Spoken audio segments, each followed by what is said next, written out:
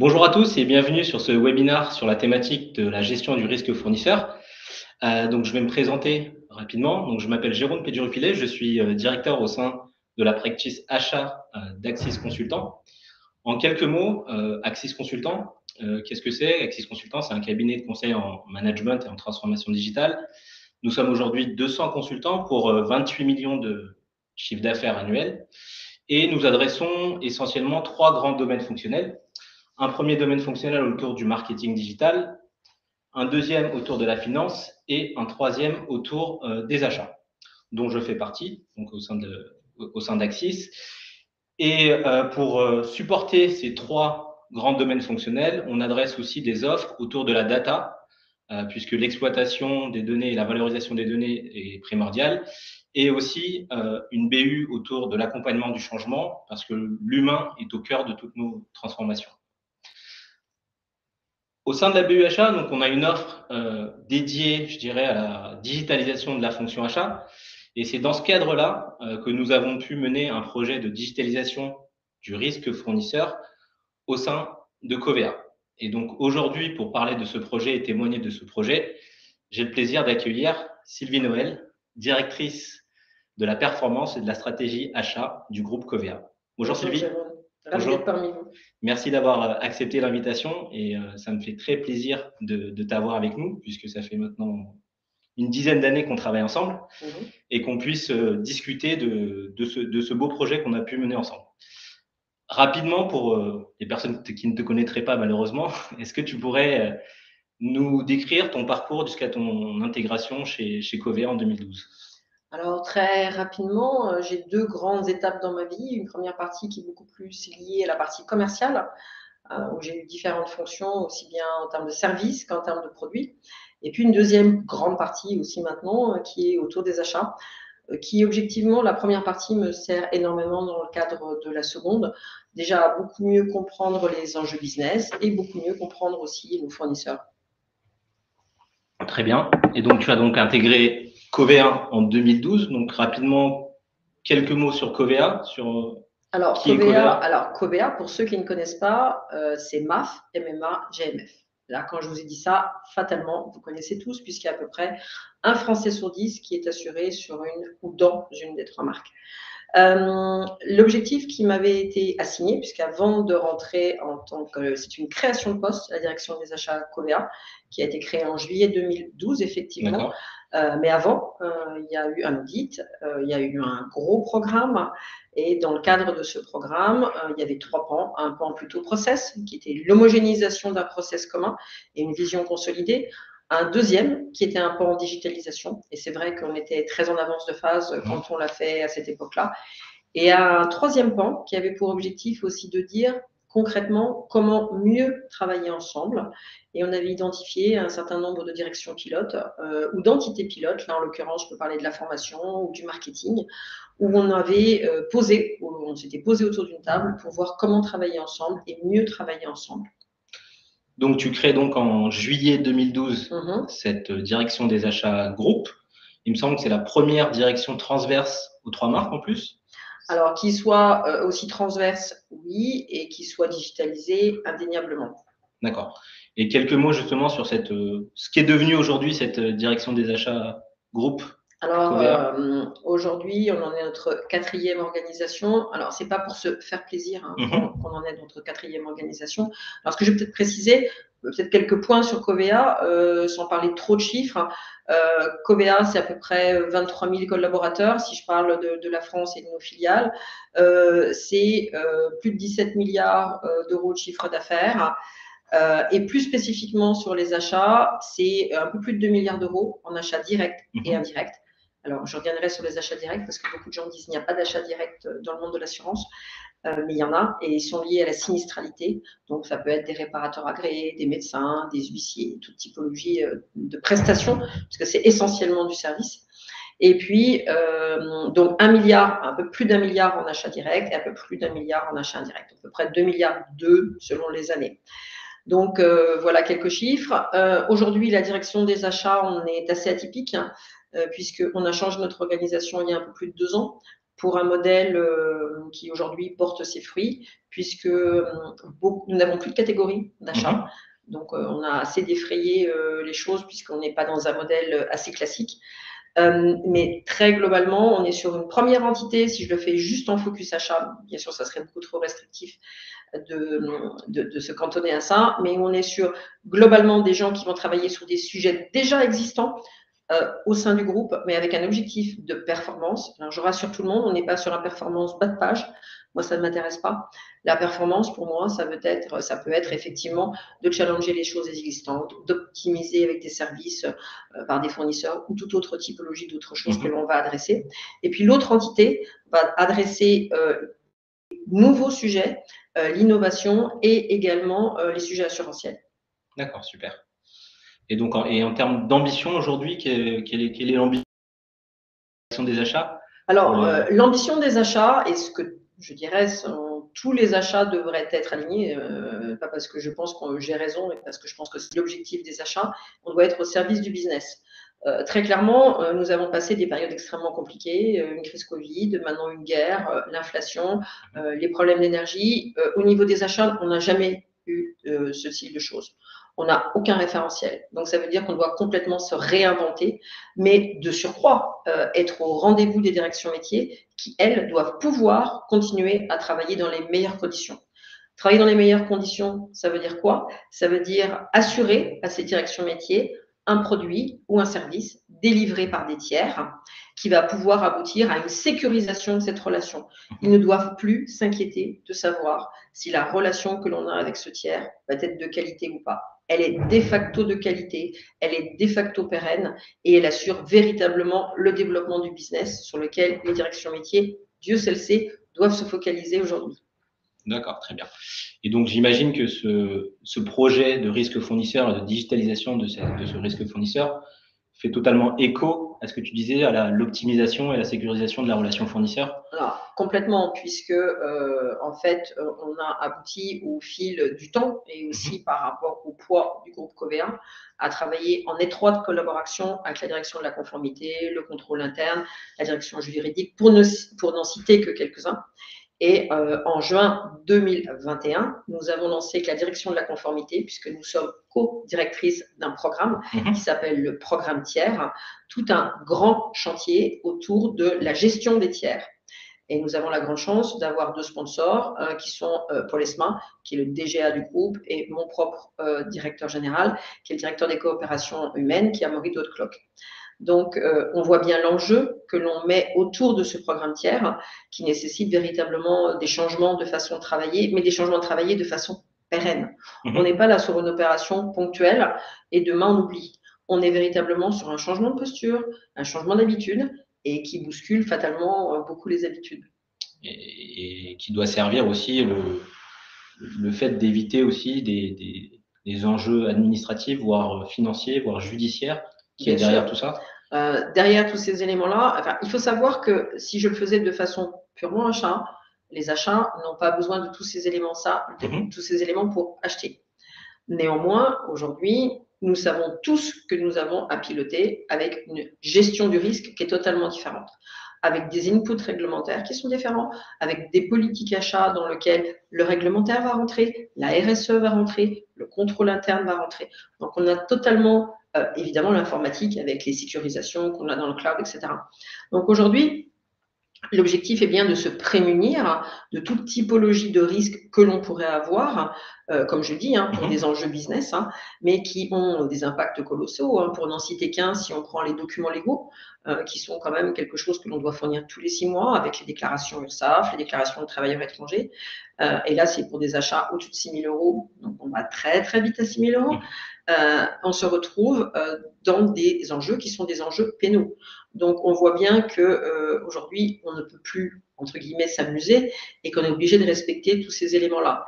Et la difficulté auxquelles sont confrontées les directions achats et de facto les directions métiers, c'est que ça nécessite une, un énorme travail pour arriver à avoir cette vision consolidée puisqu'aujourd'hui, au sein du groupe, euh, grâce à ce dont on va parler, on pilote maintenant 10 risques, hein, et bientôt il y en aura d'autres, parce que le réglementaire continue ses évolutions, et que euh, le travail de l'acheteur n'est pas de faire le réglementaire. Mmh.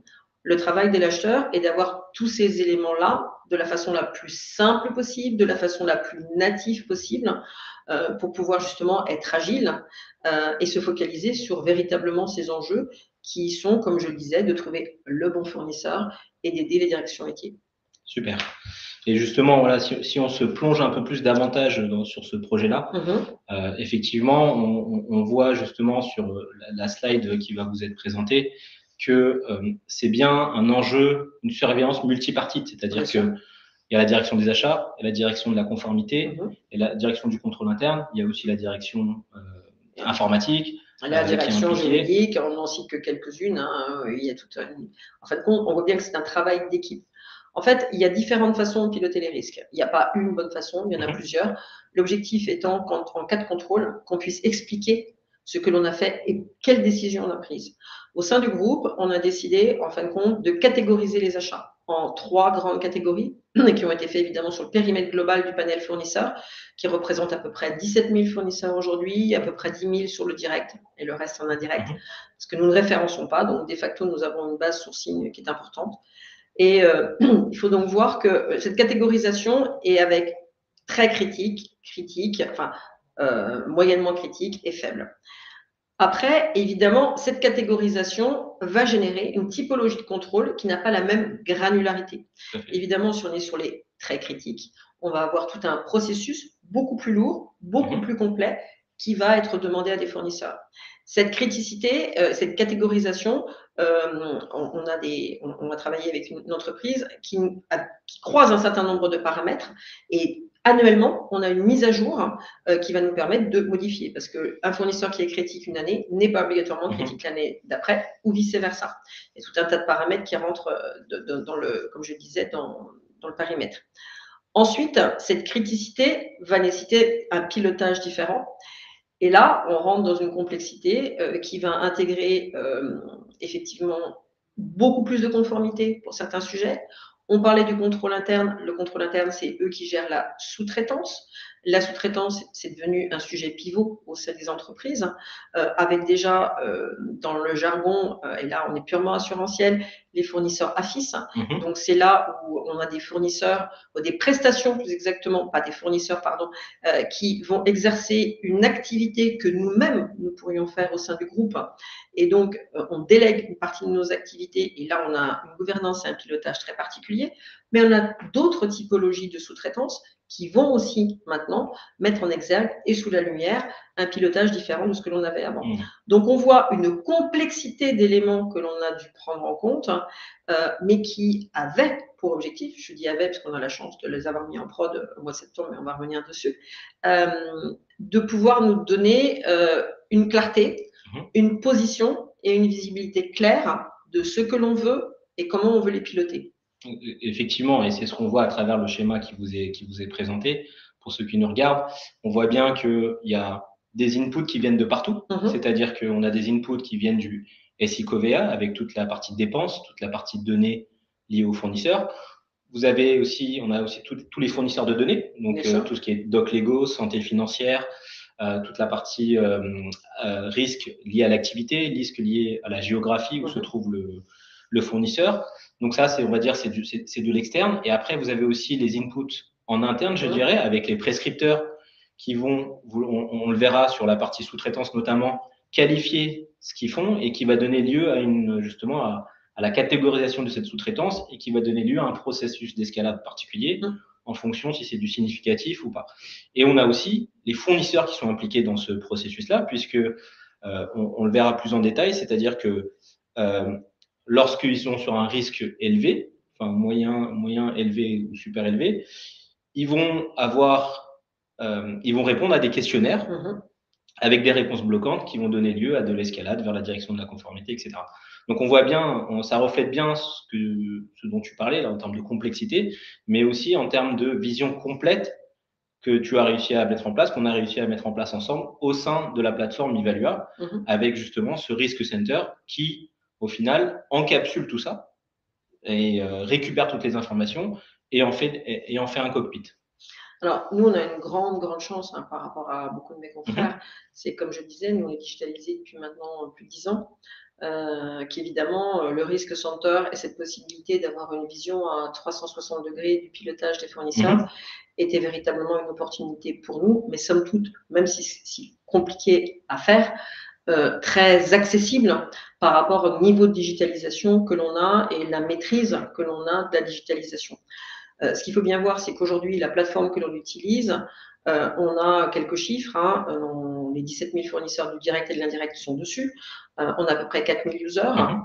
Et que c'est le seul outil d'échange entre les parties, incluant le pilotage des risques. C'est-à-dire mhm. qu'aujourd'hui, on a onboardé la conformité, la direction juridique, euh, le contrôle interne, qui eux-mêmes, la RSE, qui eux-mêmes utilisent la solution, eux-mêmes vont trouver les informations dessus. Donc, euh, on a euh, effectivement cette chance d'avoir un, petit peu avancé. et le, le, gros avantage que l'on a aujourd'hui, et surtout que les équipes dans leur globalité ont, c'est que pouvoir avoir un cockpit risque qui vous donne une vision complète, qui fait que selon les critères décidés dans un groupe, on a la possibilité véritablement de piloter, de voir ce qui est vert, de voir ce qui est rouge, de voir si les chiffres sont adéquats. Ça change complètement la donne. et véritablement, l'acheteur qui aujourd'hui, euh, et encore beaucoup, hein, euh, beaucoup aujourd'hui vont sur un premier site, vont se connecter, vont mhm. regarder les infos à droite, sur un deuxième site, vont se connecter, vont regarder les infos à gauche, sans vision consolidée. Euh, au sein d'une même équipe, il peut y avoir 5, 10 acheteurs, 20 acheteurs qui vont faire la même action sur le même fournisseur dans la même journée. Donc, c'est énormément de temps perdu. C'est aussi une grande frustration quand on parle avec la fonction achat euh, d'avoir à faire ce que eux considèrent comme de l'administratif, même si c'est de l'administratif pour la bonne cause, puisque piloter le risque est extrêmement important. Encore une fois, nous, achats, on n'en a pas purement besoin. Mmh. Et puis, ce qui est important à voir, c'est que euh, c'est quelque chose de récurrent.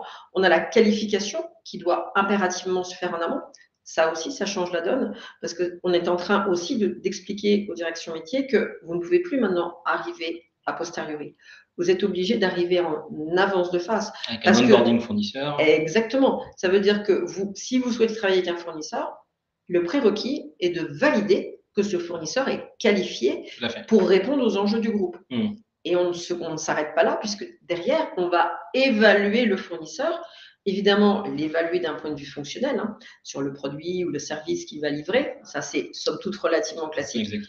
Mais on va aussi, dans l'activité, dans des contrats qui peuvent durer un an, deux ans, trois ans, évaluer le fournisseur sur la partie des risques, ce qu'on ne faisait que très peu jusqu'à mmh. maintenant, ou de façon parcellaire.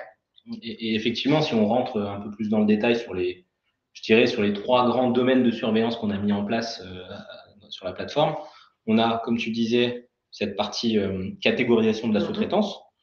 Euh, on a un deuxième volet qui est la qualification du risque fournisseur, donc en fonction de plusieurs critères, notamment le critère de l'activité géographique, financier. On, évalue donc un, niveau de, un niveau de risque fournisseur, on qualifie ce risque-là. Et ce risque-là, donc il y avait quatre niveaux. Et en fonction de ces quatre niveaux, on, vous allez aller chercher des évaluations complémentaires de conformité euh, autour des sujets de lutte anticorruption, autour des sujets de blanchiment d'argent, financement de terrorisme, RSE, etc., etc. Donc, on a bien mis en place euh, ces trois domaines-là euh, dans l'outil. Maintenant, ce que, ce que je vous propose, notamment pour ceux qui nous regardent, c'est de revenir un peu sur ces trois domaines-là, un par un, en commençant tout d'abord par la catégorisation de la, de la sous-traitance où effectivement, je ne vais pas passer beaucoup de temps sur ce, sur, ce slide-là, où on a le prescripteur qui est déjà à l'origine pour dire qu'est-ce que j'achète? Est-ce que, est-ce que j'achète quelque chose, une prestation qui fait euh, qu'on pourrait exercer nous-mêmes? Est-ce que c'est un processus cœur métier?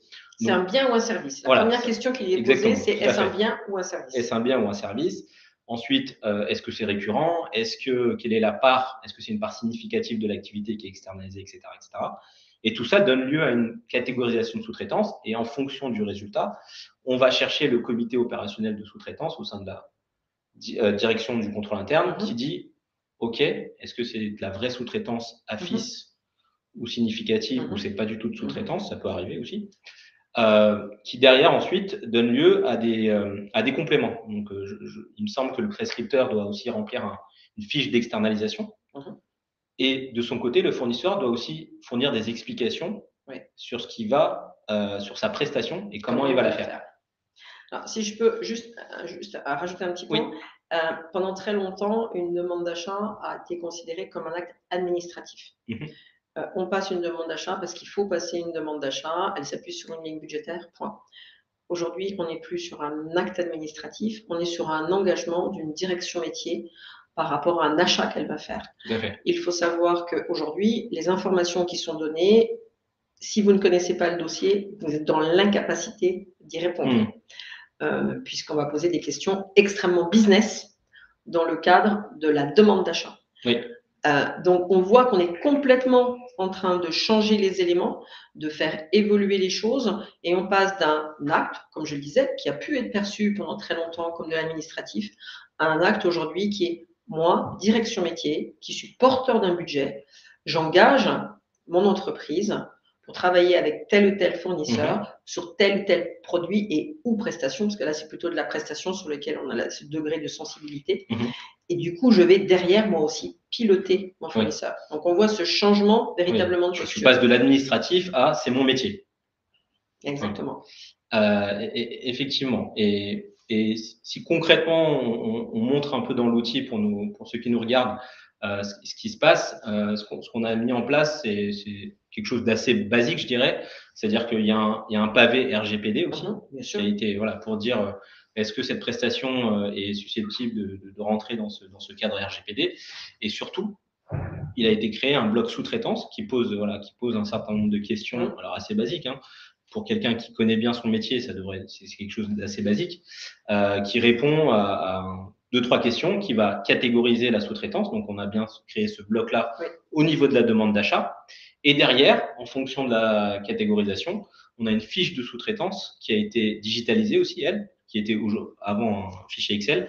Maintenant, c'est devenu un onglet de ta demande d'achat que le prescripteur remplit euh, pour, euh, pour dire voilà, qu'est-ce qu'il achète, etc., euh, etc., pour donner plus de précision sur, Alors, sur, cette, sur cet achat. Tout à fait. Ce qu'il faut bien voir, pour que tout le monde comprenne bien, parce que pour nous, c'est mhm. relativement simple, c'est que tout ça se fait automatiquement. Ce que je veux dire, c'est qu'à partir du moment où on identifie, là, si on reparle de la sous-traitance, qu'il doit y avoir une vision du contrôle interne directement Tout à fait. dans la solution, c'est poussé au contrôle interne qui lui-même mm. va faire ses commentaires, ses validations, voire des actions spécifiques. Reclasser éventuellement la sous-traitance. Exactement. C'est ce qu'on voit à l'écran là sur le sur l'exemple qu'on vous montre, c'est que c'était classé en significatif et finalement ça a été déclassé en disant voilà c'est voilà c'est mm. pas un nouveau besoin donc c'est déjà identifié etc. Et ça, évidemment, c'est de la même façon pour la conformité, pour la RSE ou pour, ou pour tout autre, tout autre tiers. Je parlais tout à l'heure de la direction juridique, c'est exactement la même chose. D'accord, très bien. Euh, donc maintenant qu'on a fait ce focus sur la sous-traitance, si on fait un focus sur, euh, je dirais, sur euh, la, qualification du risque fournisseur, euh, justement, si on revient, sur, revient là-dessus, on, a effectivement quatre critères qui te donnent un niveau de score mm-hmm. et un niveau de.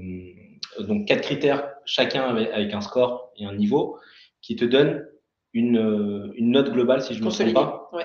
Voilà. Et donc, c'est selon cette note globale qui te donne un niveau global qui te dit voilà, est-ce que ce fournisseur il est euh, à risque fort, très fort, moyen ou, faible, si je ne me trompe pas. Et, ça, pareil, on l'a mis en place dans l'outil, dans Evalua, euh, à travers la fiche fournisseur, donc que vous voyez, euh, que vous voyez à l'écran là.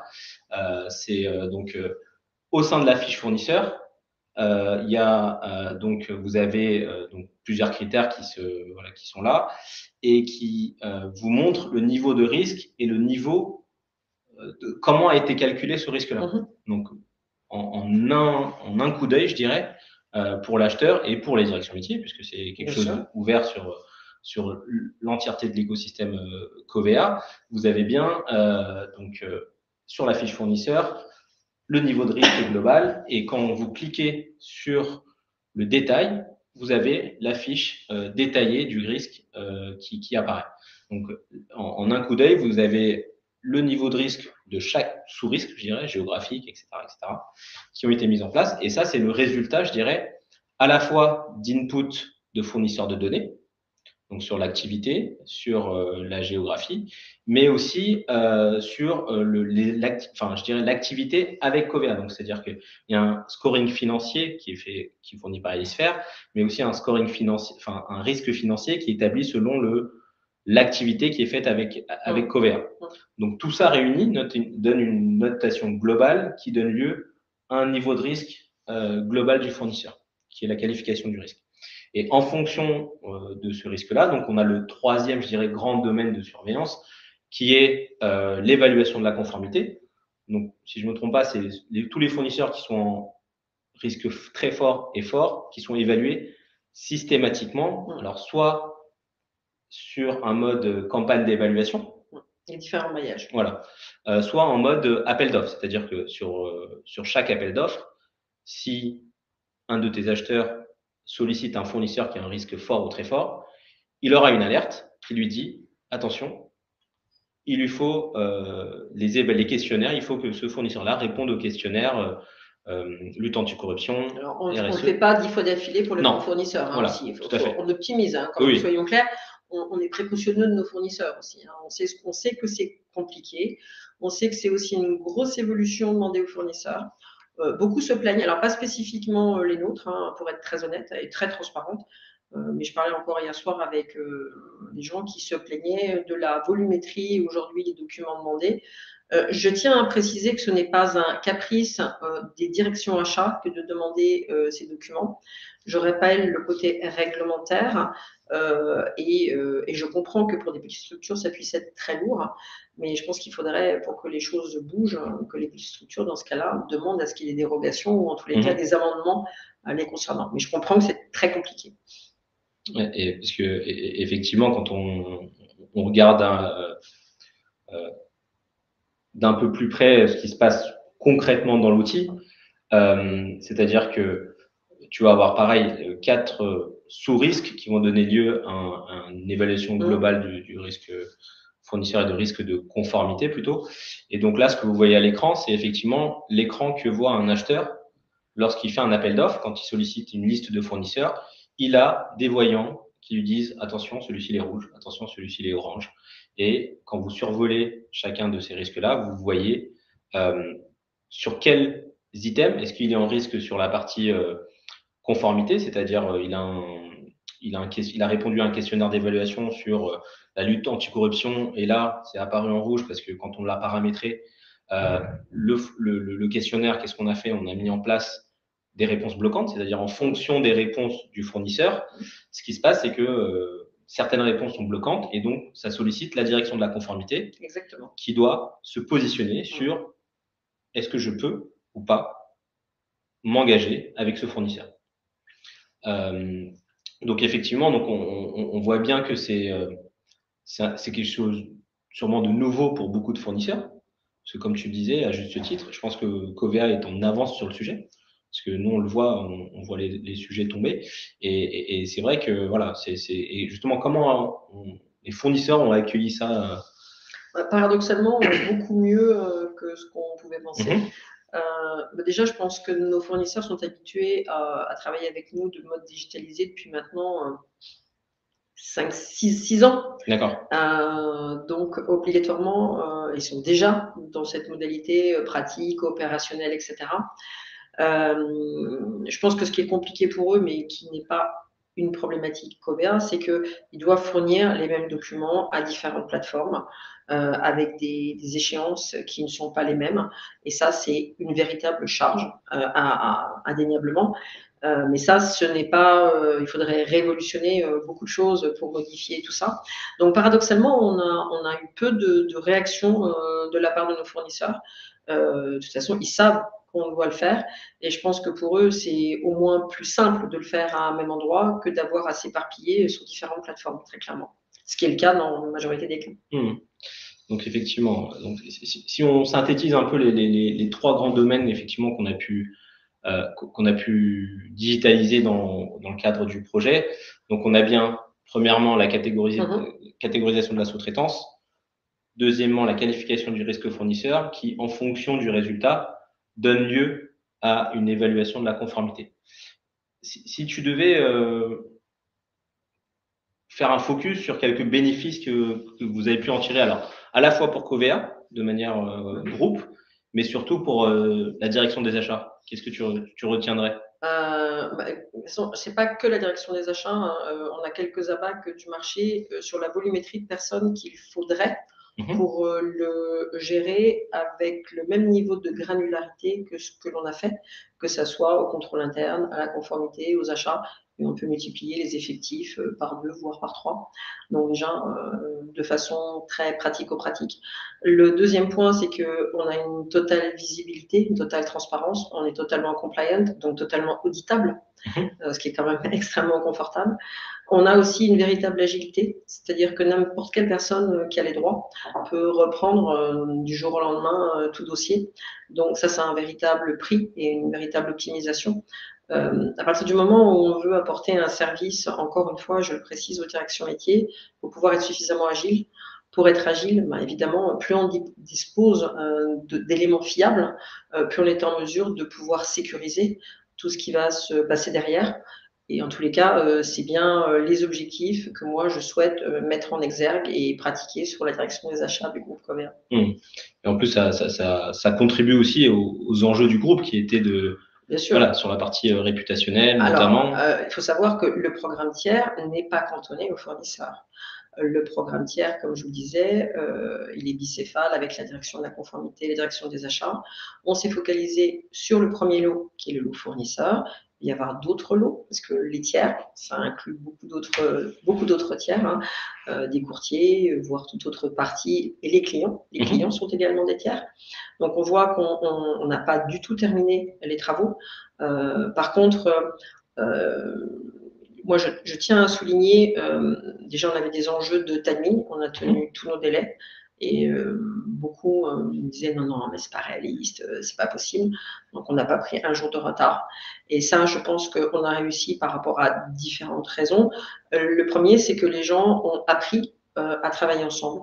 On fait un véritable travail d'équipe. Euh, n'est pas les achats d'un côté, la conformité de l'autre, le contrôle interne. C'était des gens qui, ensemble, avaient le même objectif, les mêmes enjeux, euh, qui ont appris à mieux se connaître, qui ont appris euh, à travailler ensemble euh, et ne pas considérer que c'était chacun son précaré, mais qu'on était en train de faire un terrain qui était un terrain ensemble et qui permettait justement de mieux faire les choses. Euh, et puis, euh, effectivement, vous nous avez, enfin, on vous a également sollicité et vous aviez une pression. Vous avez tenu la pression, je confirme, euh, mais vous nous connaissez et vous savez que quand on confie, particulièrement au sein de la DPS, hein, des délais, un délai c'est un délai et c'est pas un jour en plus, c'est un véritable délai. mais je pense que c'est aussi très motivant parce qu'effectivement, il y a une exigence. L'exigence, elle est bilatérale. Et nous acceptons parfaitement qu'un fournisseur euh, vienne nous challenger si on n'est pas au rendez-vous de ses exigences. C'est ce qu'on a essayé de faire, en tout cas, nous challenger lorsque, lorsque c'était nécessaire. Euh, et, justement, euh, dans, dans les, en tout cas, si, on organise ce webinaire, c'est aussi parce qu'on considère ensemble que ça a été un succès, ce mhm. projet. et, je, voudrais, je, voudrais, revenir sur les facteurs clés de succès justement de ce, de ce projet. moi, il y en a deux qui m'ont marqué au-delà de, ce que tu viens de dire sur, sur, notre capacité à, vous accompagner, mhm. euh, c'est un, le cadrage fonctionnel qui a été fait. C'est-à-dire que en amont de ce projet de digitalisation, vous avez défini quels sont les indicateurs que je veux suivre, quelles sont les procédures d'escalade, quelles sont les procédures de validation, quels sont. Euh, vous avez établi un guide de sous-traitance, il me semble aussi, euh, au sein de Covea par le contrôle interne.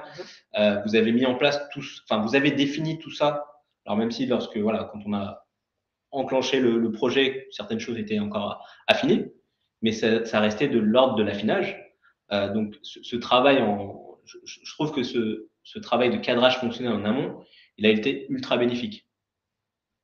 Et deuxième point, euh, c'est les actions, les, la sensibilisation des équipes et les actions de change qui ont été mises en œuvre. Donc, quand, quand on a commencé ce projet, j'ai senti des personnes qui euh, savaient de quoi parler mhm. euh, et, et c'était pas quelque chose qu'elles découvraient. Donc, est-ce que tu peux nous dire voilà comment ça s'est passé au début justement sur cette partie cadrage fonctionnel euh, et, tout ce que vous avez pu en mettre en place en termes de d'action de change justement? Alors, il y a deux points.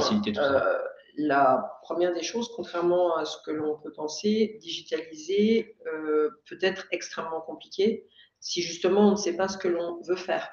On a euh, pendant des années, et encore maintenant pour certains, une propension à penser qu'un outil va résoudre les problèmes.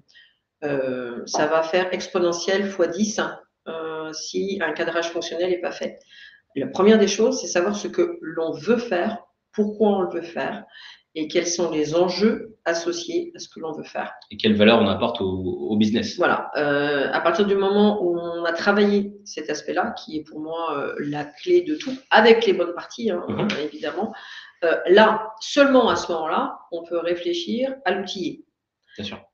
mais surtout, jamais en sens inverse. Je pense que l'échec, mais c'est un peu généralisé, il n'y a pas de difficulté, la majorité des échecs que l'on rencontre sur euh, des projets de digitalisation au sens générique du terme, c'est ça. On a pensé que l'outil allait résoudre les problèmes. Et mmh. c'est totalement faux. Donc ça, c'est le premier point. Le deuxième point, c'est qu'on a mis des chefs de projet internes. Euh, ça a été un gros challenge hein, parce que au sein de nos propres équipes, mmh. on a demandé bah, souvent à des responsables qu'ils prennent une deuxième casquette, c'est-à-dire leur poste, plus un poste de chef de projet moi-même au sein de mon équipe sur ce projet-là, enfin ce, premier lot, j'en ai eu deux, mhm. mais il y en avait à la conformité, il y en avait au contrôle interne. Et, euh, et ces gens-là, encore une fois, euh, alors, sous la houlette de ce que l'on a mis en place, etc., euh, ont tous compris le bien fondé de travailler ensemble, ont tous compris les enjeux que ça représentait, et ont tous compris que oui, ils allaient travailler différemment demain, mais que ce partage allait faire grandir tout le monde et que même si en un premier temps, c'était compliqué, même si en un premier temps, euh, bah, on apprenait pour certains à se connaître parce qu'on se côtoyait, mais pas de la même façon, mhm. euh, on a grandi ensemble et je pense que toute l'équipe était extrêmement fière euh, d'avoir fait aboutir ce projet. Et moi, je suis particulièrement fière, euh, comme directrice de la conformité, euh, d'avoir fait que nos équipes l'ont fait ensemble et qu'ils qu'ils ont réussi à atteindre ce résultat. Mmh. Donc ça, je pense que c'est vraiment la clé, la clé de tout. Et, tu parlais de change. Le change, c'est comme tout sujet. tu embarques les gens le plus en amont possible, tu les motives. Euh, il est évident que euh, le change d'ailleurs derrière va se faire de façon beaucoup plus fluide. Euh, quand tu imposes quelque chose aux gens qu'ils découvrent, sur lequel ils n'ont pas été avertis, sur lequel ils n'ont pas travaillé, obligatoirement, il y a peur, il y a réticence, il n'y a pas envie de faire. Donc, je ne sais pas s'il y a une baguette magique pour faire. Je pense que là, peut-être parce que moi, la digitalisation, c'est mon dada depuis longtemps, mais pas en termes de finalité, en termes d'optimisation de ce que ça apporte. Mhm. Euh, mais je pense que les messages clés, c'est surtout de dire n'ayons pas peur de travailler ensemble. Personne ne va perdre quoi que ce soit. Par contre, on va sortir euh, indéfiniment et bien plus euh, grandi de ce que l'on aura pu aboutir à créer ensemble. Mhm. Effectivement, et tu, parlais de, de, fierté. En tout cas, nous, ça a mhm. été aussi Axis Consultant une fierté d'accompagner Covea sur ce, sur ce beau projet. Et euh, c'était très agréable aussi de travailler avec. Euh, voilà, on a aussi appris des choses à votre contact. Tout le monde apprend. Euh, et c'est ce qui, voilà, c'est ce qui fait aussi la beauté de, de ce projet. C'est pour ça qu'on souhaitait aussi apporter ce témoignage, partager ça avec d'autres clients, d'autres, d'autres, d'autres confrères de la direction des achats. Et, et si tu parlais de prochaines étapes, parce que tu mhm. disais, euh, voilà, on est qu'au début, quelque part. Pas, sur la partie fournisseur. Voilà. Bien que ça va continuer à évoluer. Voilà. On le sait déjà. Voilà. On, sait qu'on va, on est en train, on a déjà commencé à travailler sur toute la partie euh, screening, sanctions internationales, euh, personnes politiquement exposées. Dora qui arrive demain. Voilà. tout ça. Donc, est-ce que tu peux en dire un peu plus sur les, voilà, sur les next steps, sur les prochaines étapes, les prochains niveaux, je dirais? Bah, parce que là, vous êtes déjà à un niveau alors, je dirais. Les, les, prochains niveaux, euh, bah, de toute façon, euh, on voit déjà qu'il faut faire changer les lignes en termes de contrôle interne. Mhm. Et pas plus tard que ce soir, j'ai une réunion là-dessus, hein, puisque nous, on travaille évidemment sur la taux de couverture achat, comme tous mes confrères, mais aussi sur les taux d'intervention. Mhm. Et à partir du moment où on déploie ce style de programme, il faut rechanger les taux d'intervention, donc rechanger les reportings que l'on va mettre en place. Donc, mais il faut expliquer pourquoi on le fait. Euh, ça, c'est le premier point. Le, deuxième point, il y a un vrai travail, encore une fois, comme je le disais tout à l'heure, pour démystifier cet aspect acte administratif. On ne fait plus l'administration. ça n'intéresse personne. On engage sa propre direction, on engage sa propre entreprise quand on va euh, travailler avec un tiers, quel que soit ce tiers. Donc, on a besoin, en tant que direction métier, d'être impliqué dans cet acte d'achat.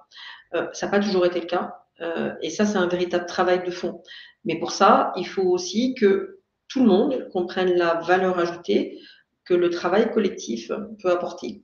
Donc euh, après, on voit que là aujourd'hui, euh, grâce au, grâce en fin de compte au Risk en pilote d'e-risque, je parlais de Dora, euh, je pense que tout le monde sait que Dora, ça va être tout ce qui est dans le cloud, etc., au niveau informatique.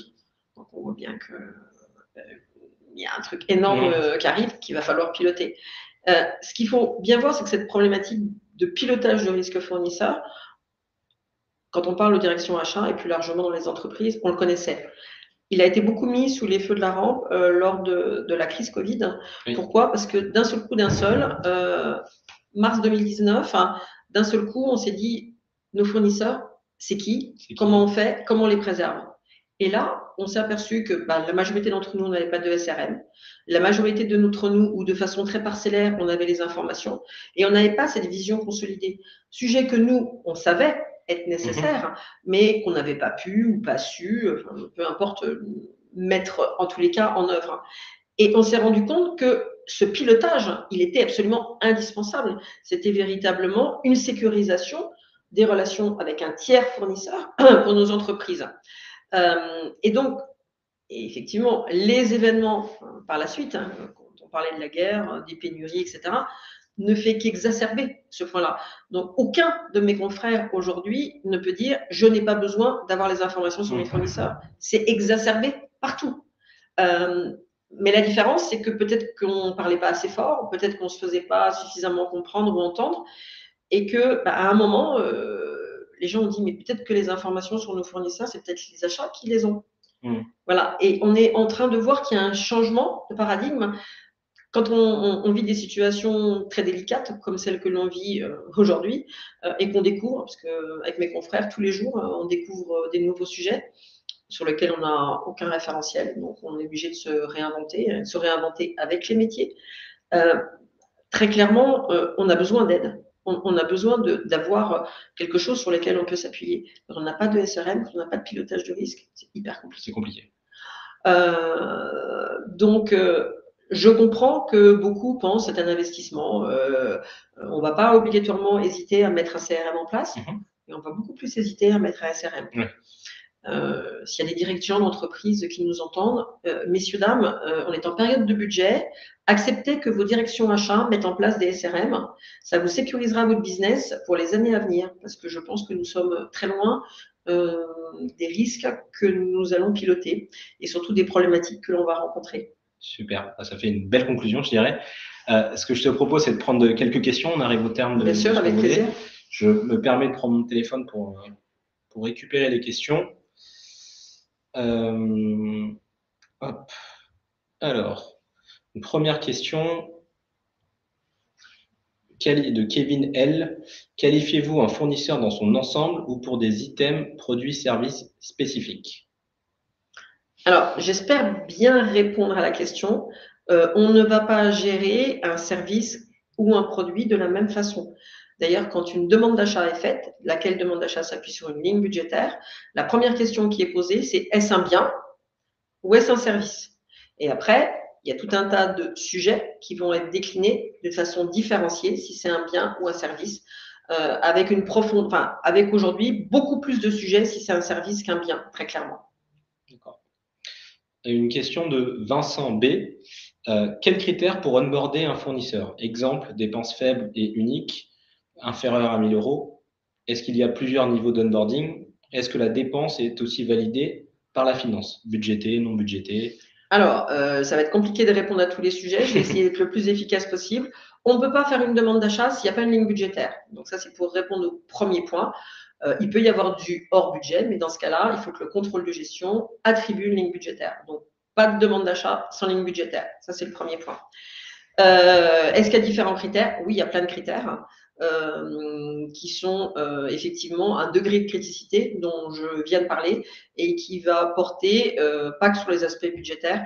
J'adorerais hein, dire que, que le, les montants puissent tout régler. on a promis le problème dans tous les sens et non, les montants ne peuvent pas tout régler parce que vous pouvez avoir de la, RGPD sur une prestation à 10 000 euros.